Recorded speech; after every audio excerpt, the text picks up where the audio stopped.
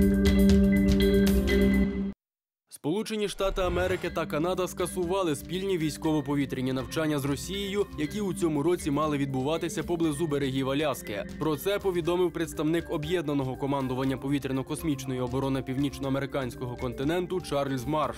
За його словами, рішення щодо скасування навчань прийняли Міністерство оборони Сполучених Штатів Америки та прем'єр-міністр Канади Стівен Гарпер у зв'язку із ситуацією в Україні. Зазначимо, спільні навчання Пильний Орел проводилися США, Канадою та Росією щорічно з 2007 року. Мета цих навчань полягає у підготовці військово-повітряних сил трьох країн до перехоплення літаків, захоплених терористами. На навчаннях 2013 року відпрацювали сценарій, за яким викрадені літаки опинялися у повітряному просторі Росії та Сполучених Штатів.